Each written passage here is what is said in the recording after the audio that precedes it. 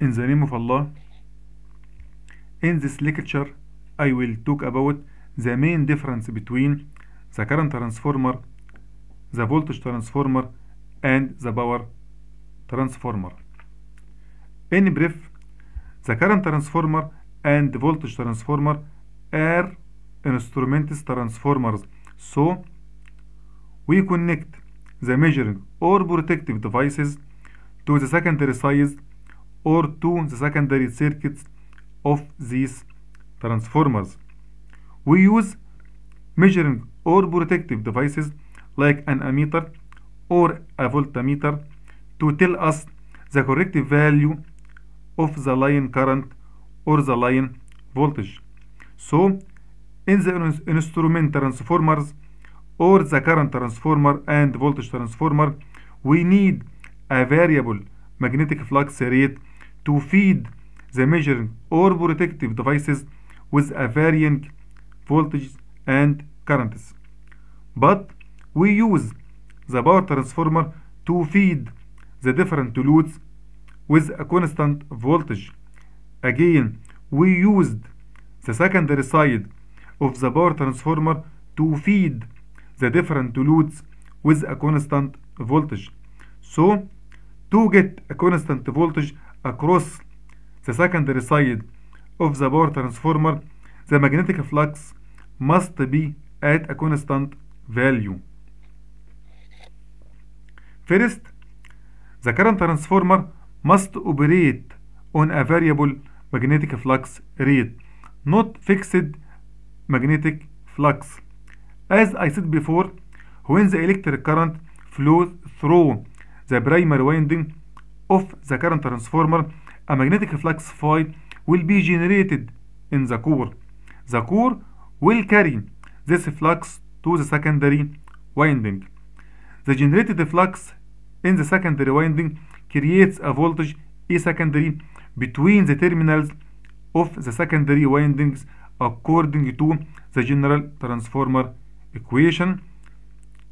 E secondary equals 4.44 multiplied by the number of secondary coils multiplied by the frequency F multiplied by the generated flux phi. The secondary voltage E secondary causes the flow of the secondary current through the secondary circuit of the current transformer. According to the general transformer equation, we find that any value of the primary current generates a magnetic flux phi. So, any increase in the primary current makes the increase in the magnetic flux phi, which increases the secondary voltage E secondary and increases the secondary current.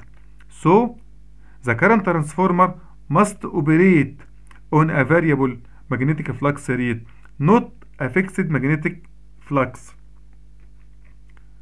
For example, if we have a current transformer of 100 amperes to 1 ampere, this means that when a 100 amperes flow through the primary winding, 1 ampere will flow through the secondary winding according to the turns ratio. Also, according to the turns ratio, when the 200 amperes flow through the primary winding, 2 amperes will flow through the secondary winding. Also, according to the previous turns ratio, when 1000 ampere flow through the primary winding, 10 amperes will flow through the secondary winding.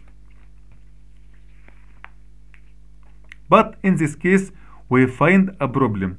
When 100,000 amperes flow through the primary winding, the secondary current isn't equal to 1000 ampere.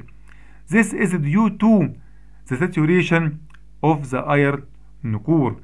I said before that the iron core, like a container, has a certain capacity, so the iron core cannot carry any value of magnetic flux. So, increasing the primary current makes an increased in the magnetic flux phi until it reaches a magnetic flux value that the core cannot carry. This case is called the, the saturation state of the core and thus the rate of change of the flux is zero and no new secondary current will appear in the secondary circuit.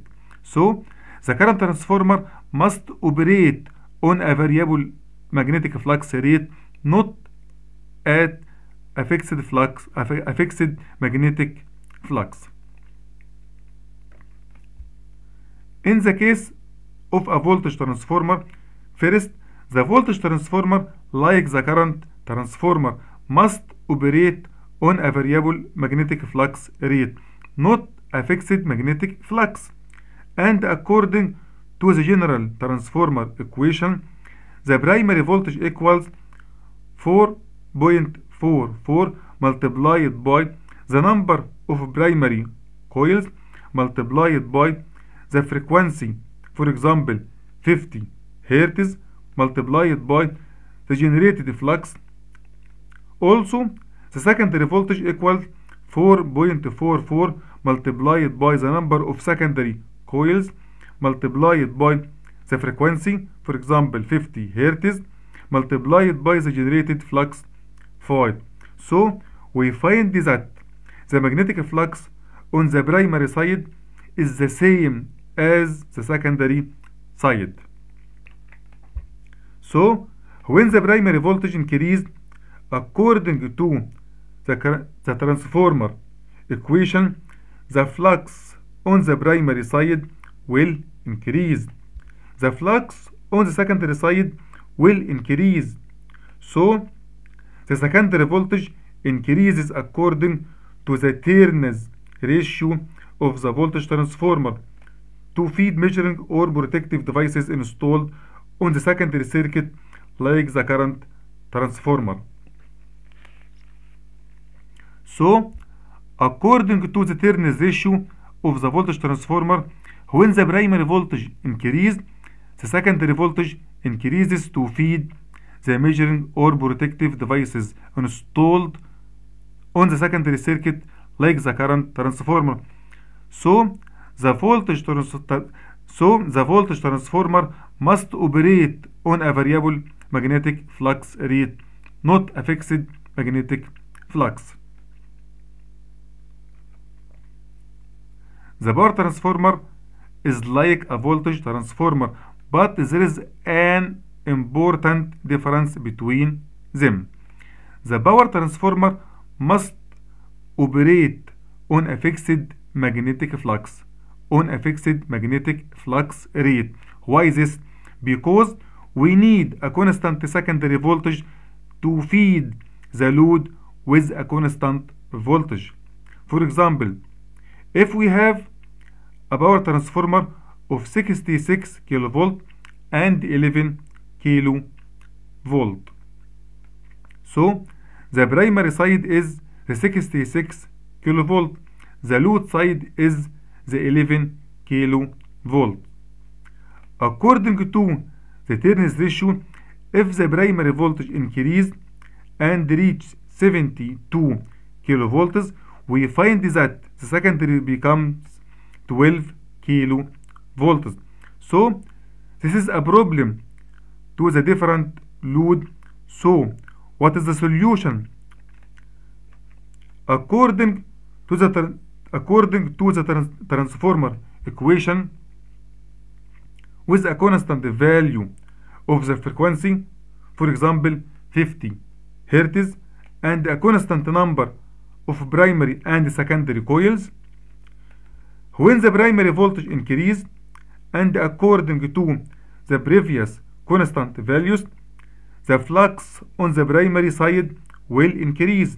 So the flux on the secondary side will increase also. So the secondary voltage increases.